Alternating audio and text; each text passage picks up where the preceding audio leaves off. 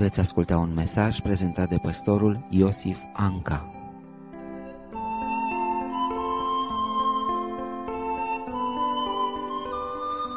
Să fie binecuvântat numele Domnului.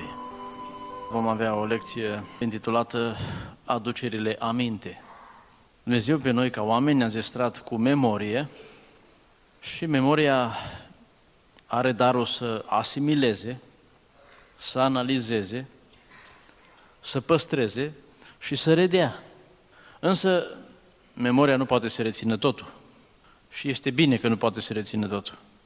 În cartea Eclesiastul, în capitolul 3, versetul 11, este scris, El, adică Dumnezeu, a pus în inima lor, a oamenilor, chiar și gândul veșniciei. Măcar că omul nu poate cuprinde de la început până la sfârșit lucrarea pe care a făcut-o Dumnezeu. Deci noi în gândurile noastre, când gândim, când ne amintim, când reflectăm, putem să ne extindem pe o perioadă foarte vastă de timp și de spațiu. Dar nu putem cuprinde tot. Sunt lucruri care le-am învățat și le uităm. Sunt lucruri care nu le-am învățat. Memoria noastră are o capacitate limitată, așa ca și memoria unui calculator. Însă, memoria poate să fie ajutată. Și în Cartea Sfântă găsim adeseori scris despre cărți de aducere aminte. În Maleahi, capitolul 4, stă scris că și chiar Dumnezeu, prin îngeri, procedează la scrie cărți de aducere aminte. Aceste cărți nu doar că joacă rolul de ajutor a memoriei, că la Dumnezeu n-ar fi cazul, dar sunt și o dovadă a realității și o dovadă împotriva falsurilor. Spune Maleahi 3 cu 16, atunci cei ce se tem de Domnul au vorbit adesea unul cu altul, Domnul a luat aminte la lucrul acesta și a ascultat. Și o carte de aducere aminte, deci pe lângă faptul că Domnul a luat aminte, o carte de aducere aminte a fost scrisă înaintea lui pentru cei ce se tem de Domnul și cinstesc numele lui.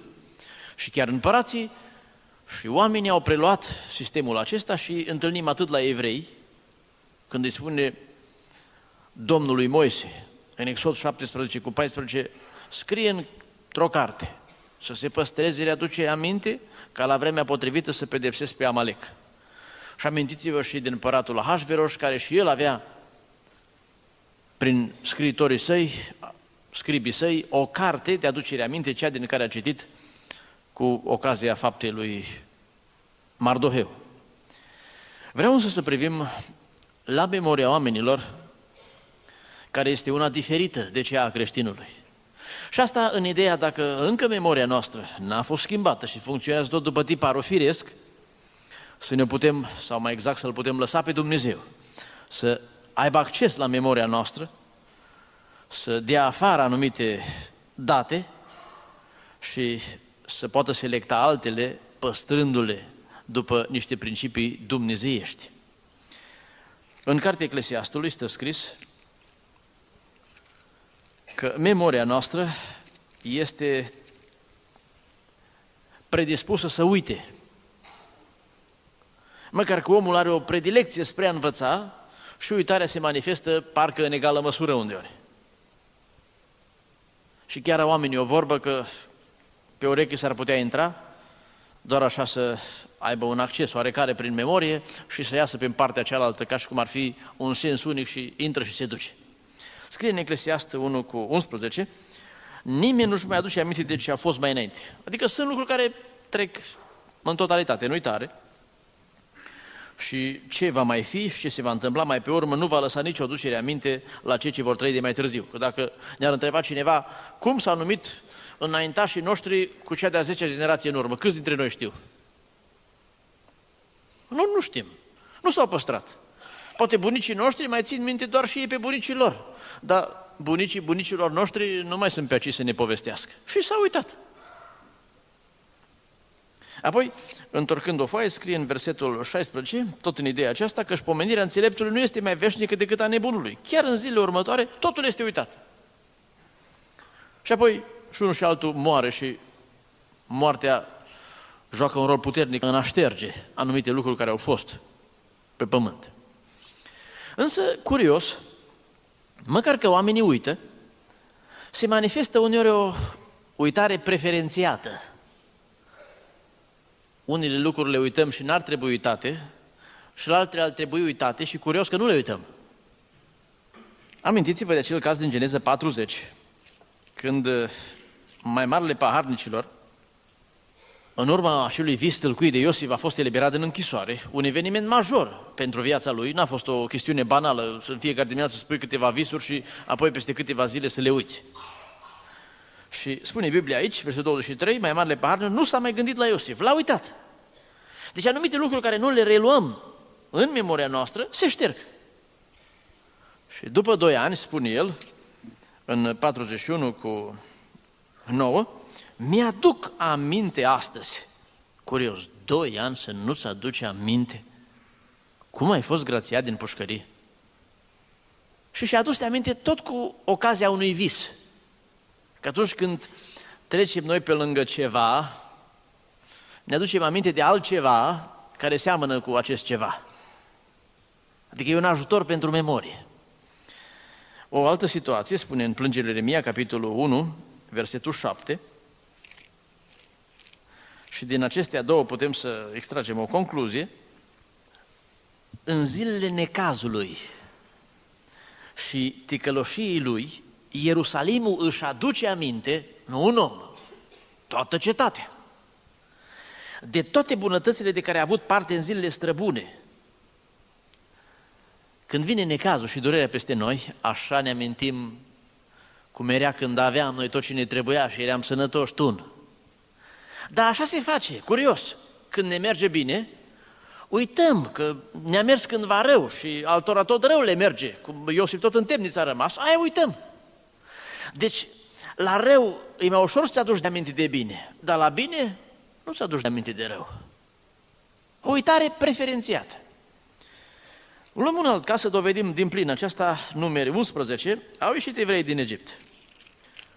Și acolo în Egipt, 400 și de ani, câte n-au întâmpinat ei?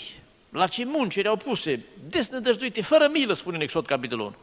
Dar aici în numărul 11 cu 5 scrie așa, ziceau ei în pustie. Ne aducem aminte de pești pe care îi mâncam în Egipt și care, curios, nu ne costau nimic, de castraveți, de pepen, de praș, de ceapă și de usturoi. Asta le-a venit lor în minte. Măcar că Dumnezeu le spusese în Exod, capitolul 13, să-și aducă aminte de altceva. 13 cu 8 și 9. Să spui atunci fiului tău. Aceasta este spre pomenire, vorba de Paște. Cearul ce a făcut Domnul pentru mine când am ieșit din Egipt să fie ca un semn pe mână și ca un semn de aducere aminte pe frunte între ochii tăi. Adică pe mână și pe frunte, unde ar fi mai, mai aproape ca să-ți poți aminti. Dar nu și-au amintit ei asta că au fost rob și că Domnul i-a scăpat cu mână tare și cu braț întins și-au amintit ei de hrana din Egipt. Curios și aici.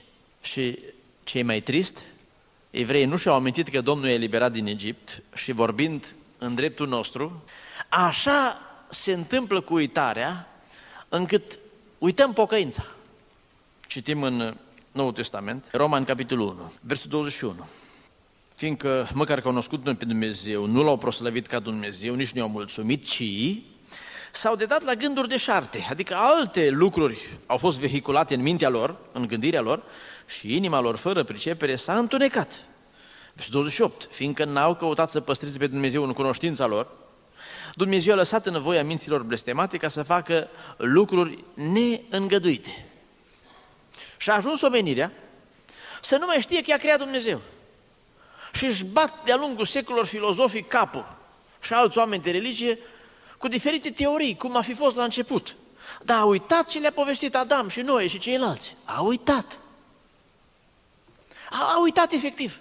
Ce le-au povestit părinților s-au pierdut lucrurile acestea. Îi spunea Dumnezeu la Israel, citim doar din Ieremia 18 cu 15. Totuși poporul meu m-a uitat. A uitat pe Dumnezeu. În ce sens l-a uitat? Adică, transpus în situația noastră, te scoli dimineața, repede te gătești, te duci la servici, lucrezi, ești prins, intri cu unul în vorbă, citești ziarul și pe după amiază dacă te întreabă cineva, auzi, te-ai întâlnit cu Dumnezeu azi? Ați povestit ceva?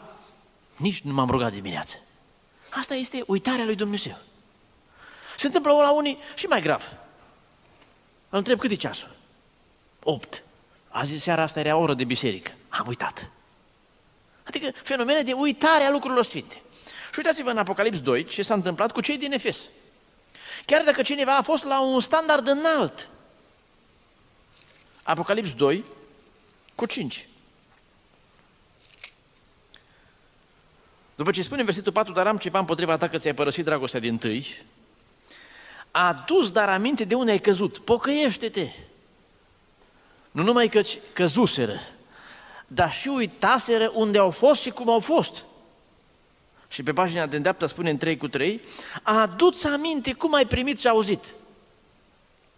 Și unii parcă au uitat ce au auzit, ce au crezut și în felul cum au fost cândva ei pocăiți. Parcă nu-și mă amintesc cum era. Și lucrurile alea s-au pierdut și s-au dus. Și amintiți-vă de Pavel, care spune în 1 Timotei 6 cu 5, că sunt oameni străcați la minte. Eu nu-mi imaginez altfel atunci când uităm și nu uităm ce nu trebuie, decât că ceva în mintea noastră e străcat. Păstrează paile și se scurge grâu. Oameni străcați la minte. Matei 25 spune că atunci când va veni Fiul omului, judecata viitoare, va spune unora, celor de la dreapta, versul 34, veniți binecuvântați Tatălui moșteniți împărăția, că am fost flămând, versul 35, seteos, străin, m-ați primit, am fost gol. Și versul 37, atunci cei nepreți vor răspunde, Doamne, când? Ăștia făcuseră bine și l-au lăsat trecut cu vederea. Că nu trebuie să ții mare evidența binelui când ai făcut, băi, ți-am făcut un bine. Dar ceilalți de la stânga, cărora le-a spus, duceți-vă de la mine, în focul cel veșnic, versetul 41, ei întreabă în versetul 44, Doamne, când? Că ăștia uitaseră când făcuseră rău și nu făcuseră bine. Ei nu-și amintesc când au greșit. Ei nu-și amintesc în ce situație au păcătuit și cum a fost. Pe când ceilalți nu țineau o evidență a faptelor bune în a nu se lăuda cu asta și a ține o asemenea evidență. Dumnezeu să ne cerceteze în mintea noastră, ca nu cumva să pățim ca acel bogat din pildă și îi spune Avram în Luca 16 cu 25. Aduți?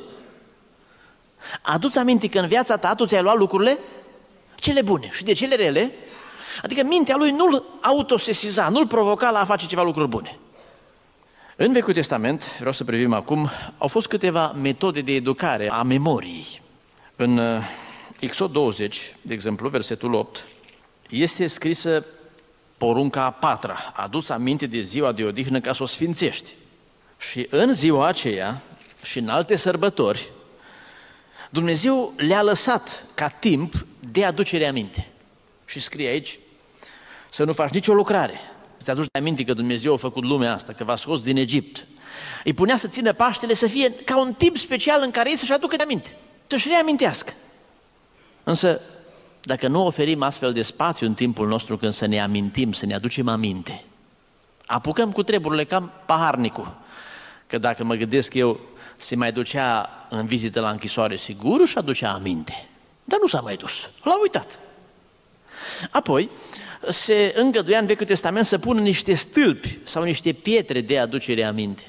Și amintiți-vă de Iacov, care în drumul său spre Padan Aram, în Geneză 28, a pus o piatră, a vărsat un de lemn pe ea și să fie o piatră de aducere aminte. Dar oamenii nu treceau toată ziua pe lângă pietrele alea.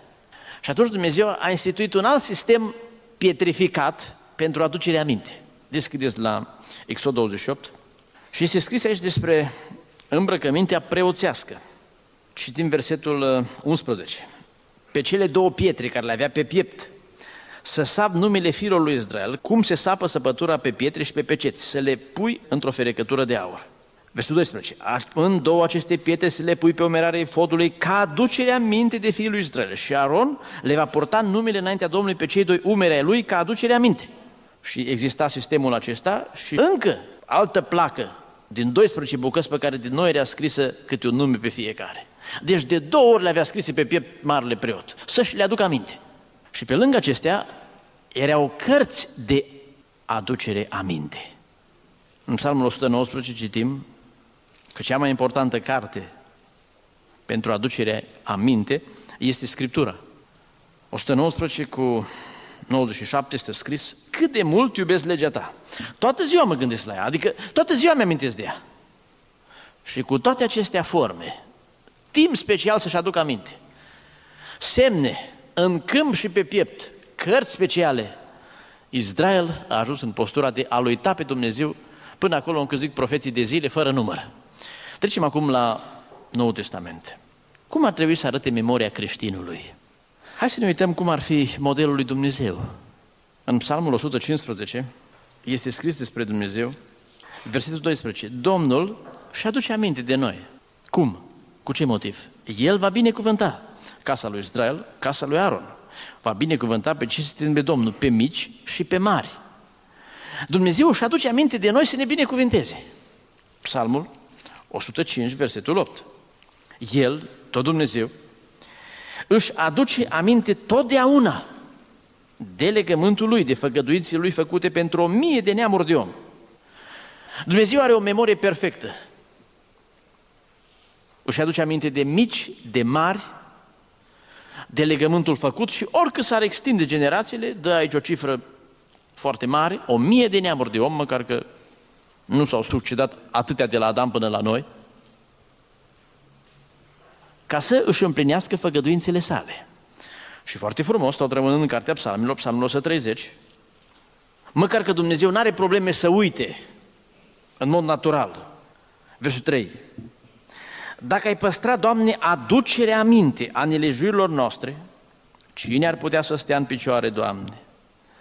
Măcar că Dumnezeu nu uită, uită intenționat păcatele noastre și greșelile noastre.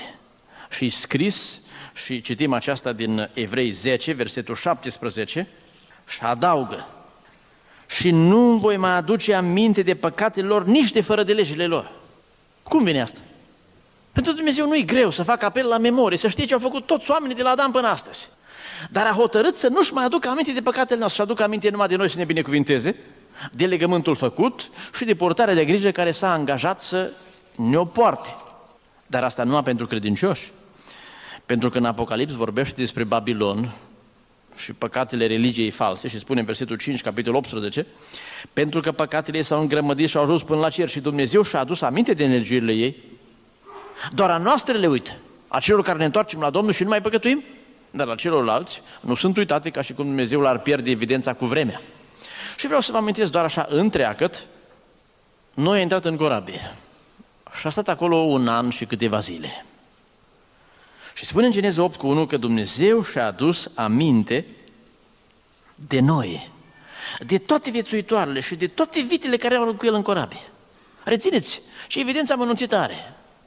Dumnezeu și-a adus aminte și de vite, știa tot ce e acolo, că trebuie să acum li se expiră hrana. Și trebuie să le dea drumul și să le poarte de grijă mai departe. Au trecut sutele de ani, 400. Și evreii tot în Egipt. Și poate se gândeau unii, aici rămânem, nu avem nicio șansă să mai ieșim de aici. Și spune Exod, capitolul 2, versetul 24, Dumnezeu și-a adus aminte de legământul s-a făcut cu Avram. Și își va aduce aminte și după mii de ani de noi toți, ca să ne învieze în ziua răsplătirii și să ne mântuiască, binecuvântat să fie numele Domnului. Să ne rugăm precum tâlharul, Doamne, aduți aminte de mine când vei veni în împărăția Ta. Și Dumnezeu își aduce aminte la timp să-ți facă tot ce ne-a promis. Nu uită nici într-un caz. Numai dea Domnul și memoria noastră să se formeze după memoria Lui. Să avem o memorie duhovnicească, care diferă de o memorie firească. În memoria aceasta duhovnicească, diferența față de omul firesc îl joacă prezența Duhului Sfânt în mintea noastră. Citim în Ioan 14, versetul 26. De ce Dumnezeu nu uită? Ce proprietate absolută și desăvârșită să nu uite nimic. Dar mângâietorul, adică Duhul Sfânt pe care îl va trimite Tatăl în numele meu, vă va învăța toate lucrurile, dar câte nu învățăm, noi și le uităm. Și vă va aduce aminte de tot, deci în mod absolut, de tot ce v-am spus eu. Când Duhul lui Dumnezeu ia mintea noastră în primire, nu mai suntem, ce spune Iacov, niște ascultători uituci, ci ne va aduce aminte să fim împlinitori cu fapta. Și se va produce un triplu proces, învățare, reamintire, împlinire. Ne învață, dar ne reamintește ce am învățat. Asta este acea călăuzire despre care spunea Domnul Isus aici în 16 cu 13, când va veni mângâietorul, Duhul adevărului are să vă călăuzească în tot adevărul. El nu va vorbi de la el, ci va vorbi tot ce va fi auzit și va descoperi lucrurile viitoare. Copiii învață pentru examene și când trebuie să se închidă cărțile și să se pună la marginea rândului, nu știu cum se face, că nu-și mai amintesc ce au văzut ei în carte cândva. Și avem astfel de momente în viață, de încercări, când sunt examene. Dacă Duhul lui Dumnezeu este peste noi, ne va aduce aminte. Și ne va spune așa și așa trebuie făcut. Să facă Domnul pentru noi. Amin. În proverbe zicea înțeleptul în capitolul 3, Fiule, nu uita învățăturile mele și păstrează în inima ta sfaturile mele. Și asta a făgădit Dumnezeu. Dar oricât ar fi omul de înțelept, tot uită. Cât ar avea o memorie de excelent. Și asta le-a făgădit Dumnezeu prin proroci. Voi scrie legile mele în inima voastră. Că semnele de aducere erau pe piatră, legile erau pe piatră și noi eram cu uitarea în minte. Dar când sunt scrise înăuntru, este foarte ieftin să-și aducă omul la minte. Și în Vechiul Testament este vorba frecvent de păcate din neștiință. Dar nu că n-au zis niciodată de ele. Dar nu era Duhul Sfânt peste ei să le aducă aminte. Și trecuseră din cunoaștere în neștiință. Și, și parcă, parcă nu mai știau. Le uitaseră. Însă Noul Testament, Duhul Sfânt, prin prezența sa, ne aduce aminte, ne conștientizează, ca să nu mai spun că ne dă și putere ca să împlinim lucrurile acelea. Și aceasta se produce fie direct, ești de unul singur, sau cu ceilalți, dar imediat parcă cineva șoptește în minte. Nu fă lucrul acesta. Sau fă lucrul acesta că este un lucru bun. Adus aminte de făgăduința lui Dumnezeu. Amintiți-vă când mergem cu darul la altar, Matei 5 cu 23. Dacă îți duci darul la altar și atunci aduce aminte. Adică atunci când ne punem la îndemâna Domnului spiritual, când venim la biserică, ne rugăm, Doamne. Și atunci imediat când te pui sub lumina lui Dumnezeu, ți aduce aminte. De ce nu zice acolo când tu ești la problemele tale, să-ți aduce aminte că ai ceva cu fratele tău? Atunci nu-ți vine să-ți aduce aminte. Dar când te pui la îndemâna lui Dumnezeu și te concentrezi spiritual, foarte ieftin ți aduce aminte de păcatele tale. Mi s-a întâmplat la rugăciune. Te pui să te rogi. Și așa ți aduce aminte toate greșelile tale, citești în Biblie. Și așa ți aduce aminte, uite, și asta n-am făcut și asta trebuia să fac. Te conștientizează Dumnezeu când te pui la îndemâna Lui. Aduceți-vă aminte. Și nu numai că noi, s-ar putea să uităm, să nu fim luminați total, dar când venim la biserică și când ne punem sub această cupolă a Duhului Dumnezeu care lucrează prin adevăr și prin călăuzire, se întâmplă că ni se aduce aminte prin alți frați. Spune în 2 Petru 1 cu 12,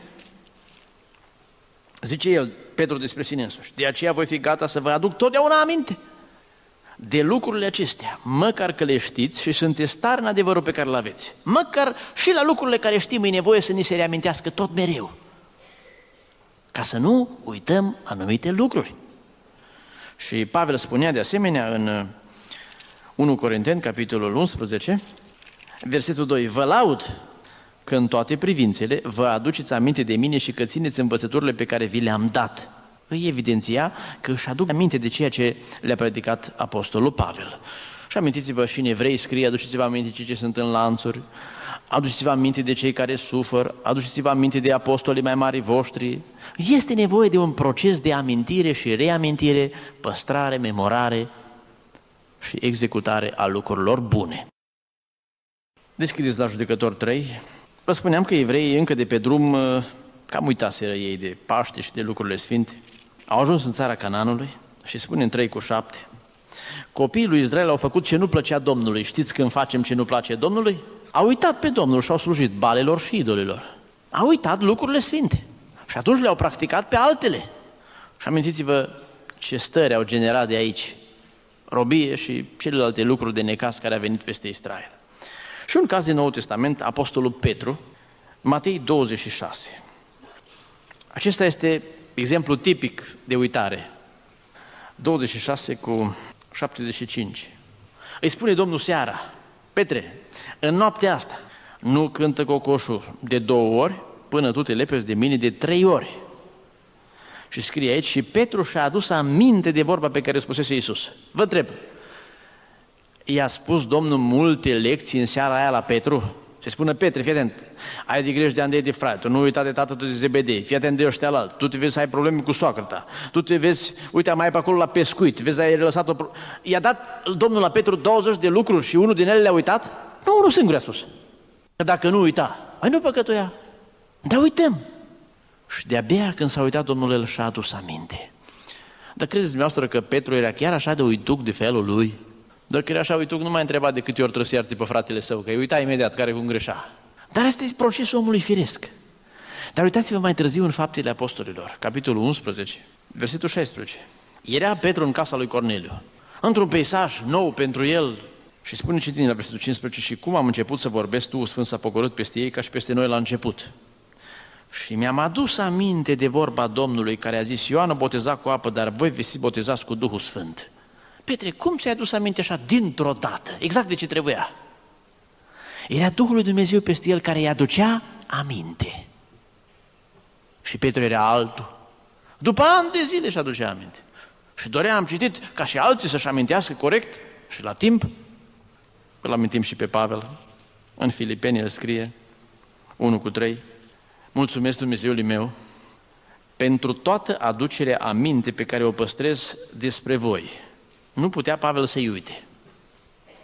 În toate rugăciunile mele mă rog pentru voi toți cu bucurie. Și așa de puternic era implementat în, în mintea lui Pavel, încât la fiecare rugăciune se ruga pentru ei. Și amintea de fiecare dată să roage pentru ei. Și noi uneori când suntem preocupați și cu tendințe firești în gândirea noastră, ne rogă cineva să ne rugăm pentru el și uităm să ne rugăm. Și Pavel nu uita să roage pentru ei toți. Tot despre Pavel citim în 2 Timotei, capitolul 1, versetul 4 și 5. Zice el despre Timotei, că își mi-aduc aminte de lacrămile tale și doresc să te văd ca să mă umplu de bucurie. Mi-aduc aminte de credința ta neperfăcută care s-a slăsluit întâi în bunica ta Lois și în mama ta Ionice și sunt încredințat că și în tine. Își amintea de fiecare. Cred că și o mamă își amintește de copiii care născut și de momentele mai grele și mai dificile. Întoarcem și la Filimon, 1 cu 4, mulțumesc totdeauna Dumnezeului meu. Ori de câte ori mi-aduc aminte de tine în rugăciunile mele. Ceea ce vă spuneam, în rugăciune îți aduci aminte mult mai ușor de anumite lucruri. La adunare, când vii să-ți aduci darul. Când te lași sub călăuzirea Duhului Sfânt, îți aduce aminte de tot ce trebuie să faci și să împlinești. Și din Scriptură, și referitor la celelalte lucrări pe care Domnul vrea să le facă prin noi, specifice pentru fiecare. Trebuie să ne aducem aminte și i-au spus Petru, Iacov și Ioan la Pavel în Galaten 2 cu 10, ci mi-a spus dumneavoastră, să ne aminte de săraci. Bogatul nostru uitase de sărac. Mai gândiți-vă și la David, îi spune Ionatan, au fost prieteni buni. Și întâlnim uneori situații printre frați când cineva a făcut un bine altcuiva, un prieten, unui prieten, unui frate, și rog, auzi, voi avea și eu nevoie cândva de tine. Și așa uită oamenii. Uite să fac. Și zice Ionatan, de voi muri, adu aminte de sămânța mea și poartă-te cu ea după o bunătate divină. Și David în 2 Samuel 9 întreabă, mai este cineva în casa lui Ionatan să-i fac bine? Dar împărate, ai avut timp să-ți amintești? Și s-a interesat de un olog ca să-i facă bine, să aibă grijă de el. Vreau memoria noastră să devină mai duhovnicească, să uităm ce nu trebuie ținut minte, păcatele altora, când cineva ne-a făcut și cane și nenorociri, să nu ne mai amintim de ce mâncam noi cândva și ce beam și ce bravur făceam, ale lăsați-le în Egipt. Să ne amintim de ce am făgăduit Domnului, să ne amintim de lucrurile sfinte. 1 Tesaloniceni 1 cu 3. Și spune aici că își ne aducem aminte fără încetare. Doamne, cum o fi asta? Se poate? Înaintea lui Dumnezeu poți să-ți aduci aminte fără încetare. Dar în spatele lui Dumnezeu uiți tot. Înaintea lui Dumnezeu ai memorie bună. întoarceți o foaie în 3 cu 6, dar chiar acum a venit Timotei de la voi, la noi și ne-a adus vești bune despre credința și dragostea voastră, că păstrați, să nu credeți dumneavoastră că Pavel era un geniu și era mai avansat decât alții de vârsta lui și normal că avea o ținere de minte extraordinară. Dar zice el despre tesaloniceni, că păstrați totdeauna, ca și Pavel, o plăcută aducere aminte despre noi. Dacă e plăcută aducerea aminte, o păstrezi. De ce omul firesc nu uită lucrurile rele? Pentru că alea se lipesc de inima lui.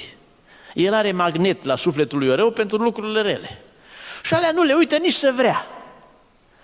Omul spiritual ține minte lucrurile bune, ceea ce e plăcut, nu se uită. Și la școală, dacă o lecție ți-a plăcut, o poezie, sunt bătrâni care spun poezii de când erau în clasele primare, le-a plăcut poezia aia. Și o plăcută aducere aminte. De aceea doresc să ne dea Dumnezeu o memorie selectivă.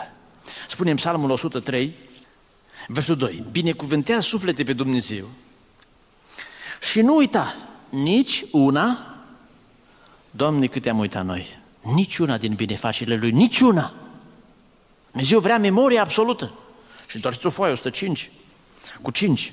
Aduceți-vă aminte de semnele minunate pe care le-a făcut. Spunea Dumnezeu la Israel, și amintiți-vă de câte a făcut Domnul pentru noi, să nu uităm nici una. Și încă un verset frumos, Luca 21.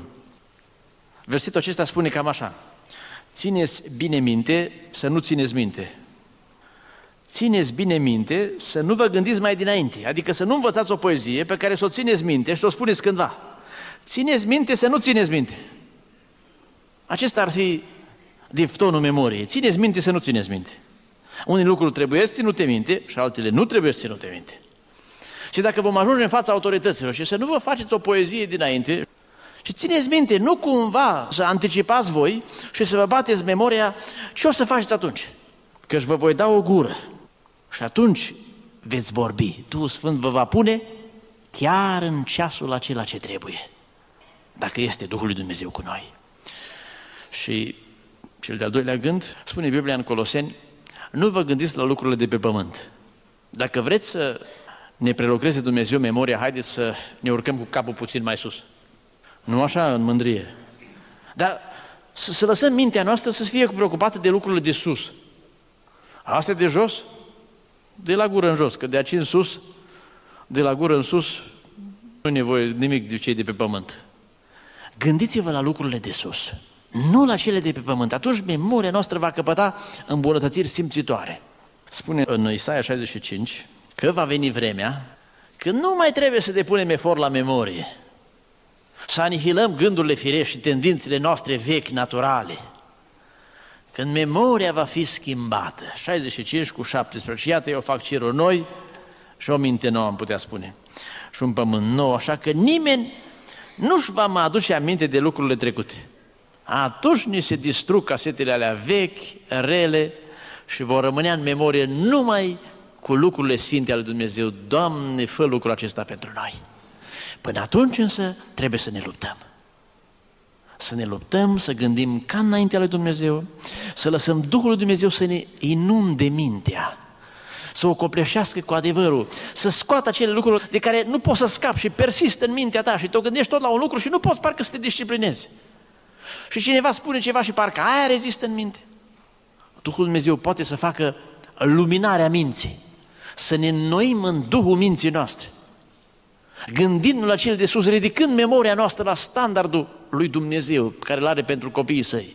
Până când vom ajunge acolo sus și nu ne vor mai veni în minte lucrurile astea, atunci nu-ți mai va veni în minte nici păcate, nici ce ai fost, nici ce a fost rău, dar până atunci să ne luptăm și Dumnezeu să ne ajute. Amin.